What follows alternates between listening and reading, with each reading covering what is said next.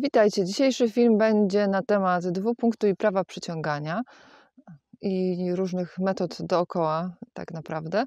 Y, odniosę się do komentarza, który, na który trafiłam ostatnio, gdzieś go odkopałam, chociaż pewnie to był chyba dosyć stary komentarz, ale nieważne. W każdym razie komentarz dotyczył tego, że mm, jeżeli chcemy coś zmienić w życiu i formułujemy jakąś intencję, to odpuszczenie i zaakceptowanie sytuacji, w której jesteśmy, stoi w tym sprzecz w sprzeczności. E, czyli jeżeli chcemy coś zmienić w naszym życiu, to znaczy, że nie akceptujemy sytuacji, w której jesteśmy. E, w związku z czym e, te wskazówki do wykonywania dwupunktu są, nie, są nietrafione. I tutaj przypomnę, o co chodziło z wykonaniem dwupunktu. Z wykonaniem dwupunktu chodziło o to, że formułujemy tę intencję, i, przez, I robimy ten dwupunkt. I gdy robimy ten dwupunkt, to jednocześnie też przestajemy mieć w głowie tą intencję. E, przestajemy się nią stresować, e, przestajemy projektować rozwią- e, możliwe, możliwe rozwiązania, e, tylko gdzieś w, wchodzimy w taki stan zaufania e, i otwieramy się na odpowiedź od tego wszechświata. E, otwieramy się e, na to, co może przyjść e, i w pewien sposób akceptujemy sytuację, w której się znajdujemy, bo nie wiem, kiedy ta odpowiedź przyjdzie, czy przyjdzie za 5 minut, czy przyjdzie za parę miesięcy, tylko po prostu trwamy w spokoju i wierzymy, że coś dobrego się, mm, się wydarzy, że zmieni się sytuacja tak, jak jesteśmy na to gotowi. Więc praca z tą intencją wymaga pewnego rodzaju odpuszczenia, tak? bo dopóki mielimy w głowie to, co nam nie pasuje e, i myślimy o tym, jacy jesteśmy nieszczęśliwi, to nie puszczamy tej intencji, to trzymamy ją kurczowo i też y, zostajemy w takim depresyjnym, tak w skrócie, stanie, stanie umysłu. E, no i w momencie, gdy mamy też te klapki umysłu y, zamknięte, e, to nie widzimy tych odpowiedzi, bo tak jak mówiłam w filmach o dwupunkcie, te odpowiedzi przychodzą w bardzo różny sposób. E, I tutaj też chodzi o to, żeby, e, żeby otworzyć swój umysł, otworzyć świadomość na zobaczenie tych szans, e, które ten wszechświat nam podsyła. Bo jeżeli zostaniemy w takim stanie zamknięcia depresji, to nawet jeżeli dostaniemy na złotej tacy to, to na co oczekuje, oczekujemy, to po prostu tego nie zauważymy. Często, często tak się zdarza. I więc paradoksalnie, żeby coś w naszym życiu się zmieniło, E, to owszem, mamy wiedzieć, czego chcemy, e, ale y, i mieć tą intencję, y, ale jednocześnie mieć to zaufanie do wszechświata, e, że da nam odpowiedź taka, jaka jest dla nas najlepsza w danym momencie i na, w pewien sposób zaakceptować tą sytuację, w której jesteśmy, tak? Po prostu pozostać w takim spokoju umysłu. I to nie znaczy, że nie chcemy zmiany, tak? To nie, moim zdaniem przynajmniej nie, nie stoi to w sprzeczności. E, no i żeby nie być gołosłownym, jak zwykle, podam przykład z życia. E, będą dwa przykłady z życia. E, jeden będzie przykład romantyczny, a drugi będzie przykład techniczny. Zaczniemy od romantycznego. Pewna kobieta opowiadała mi historię, historię swojego małżeństwa. I historia ta wyglądała w ten sposób, że byli sobie małżeństwem, mieli dzieci i wszystko tam jakoś szło, aż do momentu, kiedy y, zaczęły się problemy w pracy y, męża tej kobiety. Mm, na początku stracił pracę, później dostał nową, ale bał się zwolnienia, miał bardzo duże wymagania, wyjazdy służbowe, siedział po godzinach, przychodził z pracą do domu i był po prostu bardzo zestresowany. No ale to jego zestresowanie, zresztą wielu mężczyzn tak, tak reaguje, więc kobiety warto o tym pamiętać że to, że facet się wycofuje, to nie znaczy, że was nie kocha, tylko że jest zestresowany. W każdym razie ten mąż zareagował jak typowy facet, czyli był w takim stanie wycofania, wracał do domu e, ze stosem dokumentów, siadał gdzieś tam przy biurku i je przeglądał, e, coś tam odburkiwał tej swojej żonie. E, I, I tak się toczyło to ich życie. Gdyby to trwało tam powiedzmy parę dni czy, czy, czy parę tygodni, to jeszcze ta żona powiedzmy, żeby to strawiła, E, no ale to się już ciągnęło dobrych, dobrych parę miesięcy, sytuacja się nie, nie zmieniała i ta para zaczęła się po prostu od siebie oddalać. Też tej kobiecie cierpliwość się skończyła. No, ponieważ była w związku, była z tym mężczyzną, chciała z nim dzielić swoje życie, chciała z nim być y, i oczekiwała, że będzie z nim w jakiś sposób spędzać czas, że będą ze sobą rozmawiać, już nie mówiąc o jakimś tam poczuciu, nie wiem, bliskości, przytulenia, miłym słowie itd., itd. E, I tego wszystkiego e, nie otrzymywała. No i gdy tego nie otrzymywała, e, to zaczęła się robić y, też niecierpliwa, e, złośliwa, zaczęła robić awantury temu mężowi, że w ogóle co on sobie myśli, e, że tak ją traktuje, że pewnie już jej nie kocha i w ogóle, i w ogóle, i w ogóle. I po jednej z takich e, awantur e, poszła spać. E, Aha, ten mąż chyba nawet za bardzo nie, nie tłumaczył swojego punktu widzenia, tylko zamykał się jeszcze bardziej. Więc po jednej z takich awantur e, położyła się spać, coś tam sobie poczytała, zasnęła e, i miała sen. I śniło jej się, że się zakochała. E, Że była zakochana, e, że była taka promienna i obok niej stał mężczyzna. Mężczyzna, nie widziała jego twarzy, ale jakby odbierała tego, jaki jest ten mężczyzna, że ten mężczyzna był wobec niej troskliwy, czuły i była to taka świeża miłość, jak, e, jak w młodości, kiedy motyle latają w brzuchu. E, I obudziła się z tego snu e, najpierw z uczuciem takiej błogości, mm, a później z, uczuciem żalu. E, Bo gdzieś już tam, gdy to małżeństwo coraz bardziej kulało, gdzieś zaczęła już rozważać temat rozwodu, ale też nie czuła się na to jakoś gotowa, miała dużo wątpliwości. I po tym śnie najpierw wrócił ten, e, gdzieś wrócił ten żal i taka złość, że ja też przecież zasługuję na miłość. E, Nie jestem jeszcze aż taka stara, jeszcze mam, e, mam szansę, żeby się zakochać, żeby stworzyć nowy związek. I zaczęła mielić w umyśle, że może jednak się rozwiedzie, to kogoś pozna, to może stworzy sobie nowe życie i tak dalej, i tak. Mm, Ale potem poczuła, że, y, no, że nie jest gotowa na podejmowanie jakichś kroków. E, I wtedy z tego trajkoczącego umysłu gdzieś tam zeszła do tego serca i tam usłyszała taki wewnętrzny głos, y, który powiedział jej, e, że doświadczysz jeszcze tego, doświadczysz miłości. I to jakoś tak ją uspokoiło, mm, że po prostu stwierdziła, zaakceptowała jakby tą trudną sytuację, w której jest i stwierdziła, że okej, że kiedyś się zakocha, że może będzie miał jakiś impuls do zmiany, może coś, e, że kiedyś się zakocha, kiedyś zacznie nowe życie. I po prostu odpuściła. E, Odpuściła, e, odpuścił ten stres, napięcie.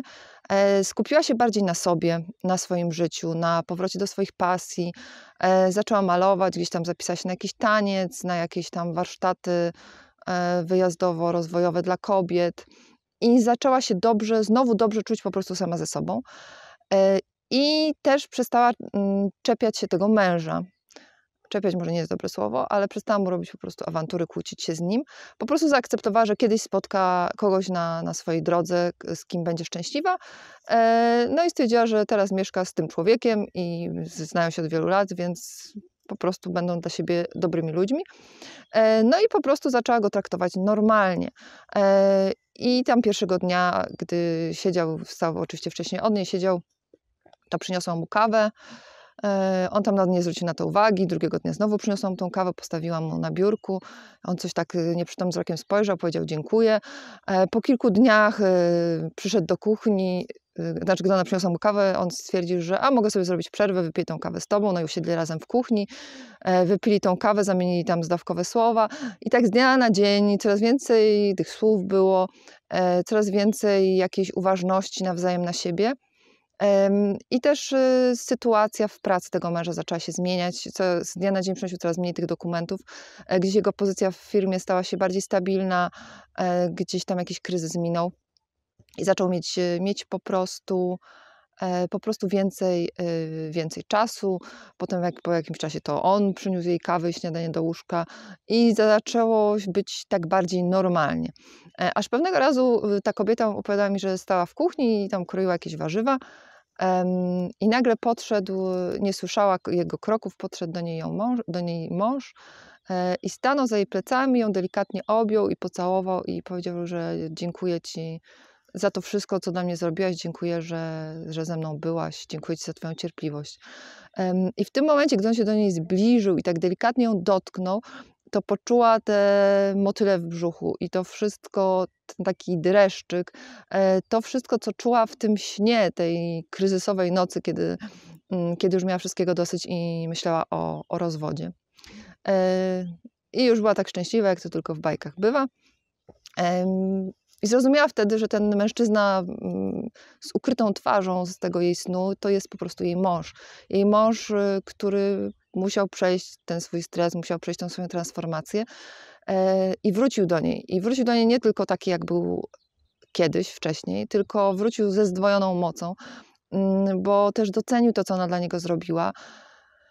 I tak jak się mówi, że e, miłość jest jak, e, jak ogień, że albo e, że jak jest żar, to, to wichura e, rozpali mocniej ten ogień, czy coś, coś, coś takiego, pewnie pokręciłam, ale, ale, ale wiecie o co chodzi, tak? Że czasami ten płomień jest duży i może być zdmuchnięty, ale jak jest taki silny żar, to, to wręcz może, może być mocniej rozpalony nawet przez taką burzę i wichurę. I tak to było w ich przypadku. I tak relacja bardzo się zmieniła, bardzo się otworzyli na siebie, e, byli na siebie bardziej uważni i, i wróciła, tak jak opowiadała, wróciła ta miłość i to takie młodzieńcze wręcz, wręcz zakochanie, e, to cieszenie się na swój widok, to tęsknienie za sobą, gdy się widzi, nie widzi się kogoś e, parę minut, to bycie uważnym, bycie troskliwym, cały czas te motyle w brzuchu i, i różne tego typu rzeczy. I mimo, że byli taką nie chcę tutaj przesadzać, ale powiedzmy parą w bardzo zaawansowanym wieku, e, to ta ich miłość była taka bardzo, bardzo lekka i, i, i młodzieńcza. I podczas gdy inne pary wokół nich właśnie się rozstawały, rozwodziły albo nie gadały ze sobą, e, oni przeżywali właśnie taką drugą, drugą młodość. Więc jest to pewnego rodzaju dowód na to, że paradoksalnie akceptacja tej, tej trudnej sytuacji, w której była ta, w której była, e, ta kobieta, pozwoliła jej na e, zachowywanie się też troszeczkę inny sposób, na otwarcie się na pewnego rodzaju zmiany e, i paradoksalnie na, na otrzymanie tego, o czym marzyła, tak? Czyli ta jej intencja została zamanifestowana, ale też została zamanifestowana nie w taki sposób, jak jej umysł podpowiadał, tak? Bo umysł jej podpowiadał rozstanie, rozwód, nową osobę itd., tak itd., tak ale ona to gdzieś tam zawiesiła, i się okazało, że tą miłością, tą, tą wielką miłość ma, ma tuż, tuż po prostu pod nosem. Co oczywiście nie oznacza, że każde małżeństwo można uratować, tego też nie sugeruję, różnie, różnie to w życiu bywa. E, więc to była pierwsza historia romantyczna, jak odpuszczenie pomogło, w, było takim warunkiem do, e, do zamanifestowania się tej intencji. E, a drugi przykład będzie mechaniczny. Mm, jest to historia takiego znajomego, który miał samochód i ten samochód y, ciągle mu się psuł. E, no i jak nie jedna rzecz, to druga i gdzie coś dalej wyjechał, to mu się sypało i tak dalej. E, I był wściekły. I był wściekły na ten samochód. E, był wściekły, że to się dzieje i generalnie cały czas był wściekły. I utrzymywała się ta energia, energia wściekłości. I jeszcze był tym bardziej wściekły, że nie miał za bardzo pieniędzy na nowy samochód. No ale jego sytuacja y, materialna gdzieś tam się troszkę poprawiła, jeszcze to pożyczał jakieś pieniędzy, e, siedział na tych wszystkich, w tych sklepach motoryzacyjnych, tych takich, no nie będę reklamować tych platform motoryzacyjnych, no ale przeglądał te wszystkie e, oferty sprzedaży samochodów, no i znalazł ten swój wymarzony samochód pod względem wielkości e, silnika, to, to, to tam wszystko, co było dla niego ważne. E, no ale cały czas był jeszcze, mimo że już jakby ta nowa droga się przed nim otwierała, to cały czas był taki, go nosiło, jak tylko musiał myśleć o tym swoim starym samochodzie. E, I cały czas dominowała w nim taka energia wściekłości, takie niskie wibracje. E, no i w końcu kupił ten nowy samochód, który był idealny, był sprawdzony jeszcze, że tam jest z nim, z nim ok. No i nie pojeździł nim tydzień, no i samochód zaczął się psuć. I psuje się, psuje, psuje się z tego co wiem do dnia dzisiejszego. E, ale chyba gdzieś teraz pojawia się w nim uczucie akceptacji, więc może w końcu sytuacja się zmieni. I to jest coś takiego, bo tutaj nie o to chodzi, tak, żeby on nie chciał zmieniać tego samochodu, który go zawodził, e, tylko chodzi o to, żeby gdzieś zaakceptować, że okej, okay, ten samochód był niefajny, teraz trafię na fajny, dobra, pojeżdżę nim jeszcze trochę, gdzieś mieć w sobie ten wzbudzić mimo wszystko ten wewnętrzny spokój, akceptację. Bo gdy mamy ten spokój, akceptację, mm, gdy mamy te, że tak powiem, wyższe wibracje, to przyciągamy też właśnie fajniejsze rzeczy do swojego życia. Natomiast gdy jesteśmy w takiej energii wściekłości, frustracji i niskich wibracjach, to nawet jak jest ta zmiana, to potem się okazuje, że, że ta wściekłość przy, przyciąga też takie negatywne rzeczy. Mam nadzieję, że to te przykłady z życia coś tam, coś tam Wam pomogły i, i na, coś, na coś naprowadziły. E, Więc, tak jak mówię, chciejcie zmian, pracujcie nad sobą, nad swoimi intencjami. Mm, Tylko pamiętajcie o tym, żeby być otwartym na te odpowiedzi od wszechświata, bo te odpowiedzi przychodzą z bardzo różnych stron w bardzo niespodziewany sposób. I gdy otworzymy się, zaakceptujemy, że wydarzy się to, co jest dla nas najlepsze w tej chwili, to wydarzy się to, co jest najlepsze dla nas w tej chwili. E, Natomiast e, jeżeli będziemy tkwili w energii frustracji, wściekłości, to te zmiany to te zmiany też będą się jakoś zadziewały, ale gdzieś nadal będzie w nas ta frustracja i wściekłość. Będziemy przyciągać paradoksalnie rzeczy, które będą nas frustrowały. Taka, tak to wygląda. I tutaj jest kwestia nie tylko pracy z dwupunktem, e, ale to też jest kwestia właśnie tego prawa przyciągania, tak? Czyli przyciągamy to, co mamy, mamy w sobie. E, Czy takiego po prostu zdrowo rozsądkowego życia, więc polecam zostanie w spokoju. Owszem, chcieć tą zmianę, ale też akceptować tą sytuację, w której jesteście, że ona też Was czegoś uczy i po prostu otwierać się na nowe. E, oczywiście odsyłam Was y, do filmików o dwupunkcie. Nagrałam ich co nieco, niektóre są w lepszej jakości, niektóre w gorszej, bo już były dosyć dawno nagrywane. Ale jest cała playlista dwupunktowa, gdzie od początku do końca praktycznie tłumaczę o, sto, o co z tym wszystkim chodzi. E, Podlinkuję Wam też tam jakiś film, nagrałam zdaje się o, o prawie przyciągania kiedyś, spróbuję go odkopać. Więc wszystkie potrzebne linki znajdziecie, e, znajdziecie w opisie pod filmem. E, I zachęcam Was do takiego świadomego kreowania swojej rzeczywistości, żeby pomimo tego, co Wam w życiu nie wychodzi, co się dzieje na świecie, co się dzieje wokół Was, żebyście zachowali ten, starali się, pracowali nad tym, bo ja wiem, że to jest ciężka praca, żeby zachować wewnętrzny spokój e, i sama się z tym zmagam, bo to nie jest tak, że po prostu hop, siup i e, już mam sobie spokój i on tam sobie będzie siedział, tylko to jest e, tak naprawdę codzienna, codzienna praca nad tym, żeby e, kierować swoje myśli w tą jasną stronę i, i kreować tą rzeczywistość, E, ale możemy, e, możemy swoją świadomością e, i swoim wewnętrznym spokojem naprawdę bardzo dużo, dużo, e, dużo zdziałać, więc zachęcam Was do tego. E, I widzimy się, mam nadzieję, wkrótce. E, I do zobaczenia. Trzymajcie się zdrowo.